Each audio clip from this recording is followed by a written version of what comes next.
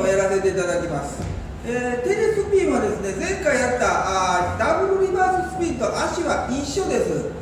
えこれでですね、えー、今日説明していきますけれども女性の方の足ですけどもね、えー、まず女性の方そうですねどこからいきましょうか。えー、っとまずはですね、え、まあ、男性がここに、えー、いるとして右足え、つま先からこうほとんどこうつま先から前進するとこがいきますね。こう前進前進します。ここ男性います。で次スウェーをこっちに変えますね。今こう右が入右右足出た時はこっち右が曲がってます。右スウェーそして、えー、スウェーを変えて左スウェーに変えて、えー、左足を今度えー、つま先からこうかぶせるように置いてここで、えー、こう裏を向きます。男性ここいます。そしてここでヒールダウンします。ヒールダウンね。そしてまたこう回る。ここで足揃えて回ってここに戻るということです。これを連続してやる。たったこれだけです。たったこれだけです。はい、えー、ポイントはですね右足が前へ行く。ほとんど落ちる。ここでスウェーを変えて、えー、左足を置いて。ここでちゃんとですね。男性に対しても後ろを向くこういう感じなんですね。ここからヒールターン足をこの時に男性がこっちへこう回り込んできます。それでまたこっちからぐんとこう入るグッとはいね。それから今度はこっちへスウェーを変えて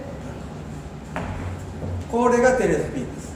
もう何回でも回っていきますね、えー、今度こっち変えてみましょうかね。えー、男性ここにいるとしまして右足がこうそしてスウェーを変えてこっち。そして、えー、右足が後ろにバックしながらヒールターンで足を。でもこれを連続してこう。こうやっていきますね。はい。もうこれだけなんですけどね。もうあと何もないです。ダブルリバーススピンと同じです。ダブルリバーススピンはその場で回転する。テレスピンはですね移動していきますからね。ここね。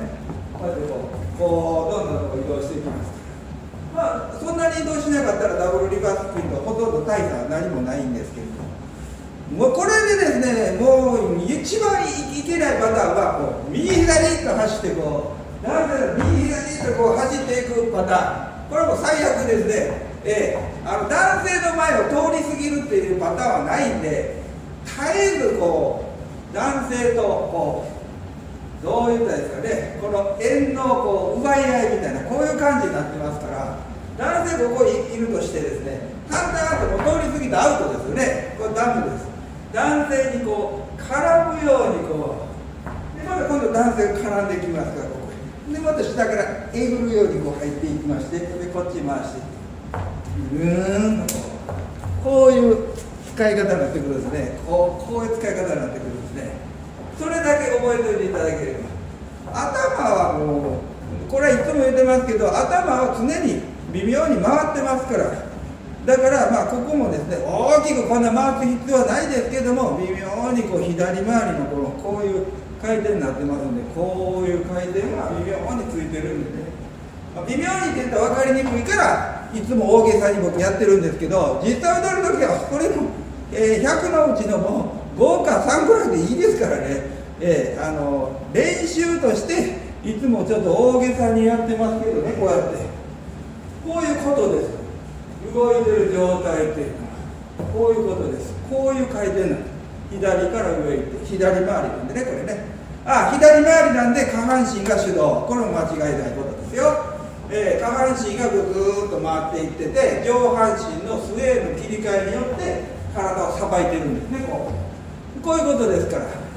はいテレスビンこんなところで分かりましたでしょうか、えー、左足を前進して右足をこうこうまた前進するんですが前進した時には姿勢が変わっててもう男性のに対してもう後ろへ行く準備ができてる状態。でヒールターンこういうことですね。はいこんなところでまた何かわからないところがあったら言ってください。とりあえず、えー、これでテレスピン練習していただければこれもですねスロー以外にワルツ単語もどの種目も全部使います。えー、もうこの斜めの美学がなくてまっすぐであればラテンでも使いますんでね皆さんしっかりこれも練習してください。